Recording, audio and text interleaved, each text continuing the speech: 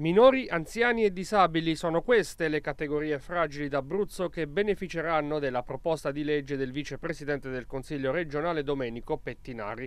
Una norma che va ad agire sui servizi e sulle strutture socio-assistenziali della regione, ridefinendo i parametri delle autorizzazioni e degli accreditamenti per garantire qualità, efficienza ed eliminare i potenziali sistemi corruttivi. La legge vigente è obsoleta, è di 16 anni fa, del 2005, e non ha mai prodotto il regolamento attuativo amministrativo. Quindi voi immaginate, la Regione Abruzzo ha lasciato nel caos tutte le strutture esistenti, ognuno ha fatto quello che voleva, senza un regolamento attuativo. Quindi la nostra proposta di legge parte anche da un'altra criticità, che la legge vigente presenta carenze, mancano requisiti organizzativi, strutturali, di personale, manca addirittura un'anagrafe unica di tutte le strutture in Regione Abruzzo, non è mai stato fatto un censimento, quindi non sappiamo quante strutture ci sono ed è gravissimo e ci sono ancora competenze in capo alle province che non ci devono essere più, che devono essere abolite. La nostra legge appunto prevede dei requisiti stringenti che ogni struttura deve insistere in aree che permettono la, eh, la vita sociale, le attività collettive dei propri ospiti,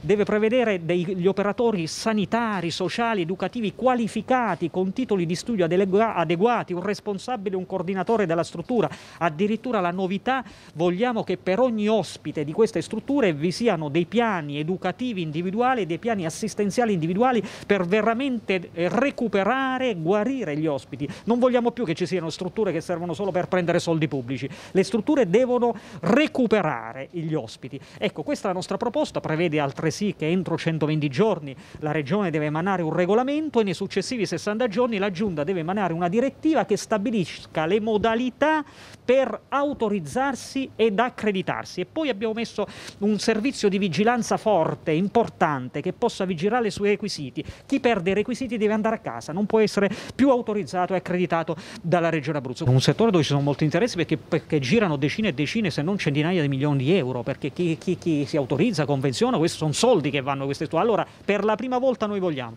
che le strutture salvino veramente, curino veramente, recuperano veramente la fragilità della nostra regione e non stiano lì solamente per prendere soldi pubblici. Ringraziamento a chi ha operato con la schiena dritta a testa alta, ma ci sono alcune che naturalmente hanno avuto anche seri problemi.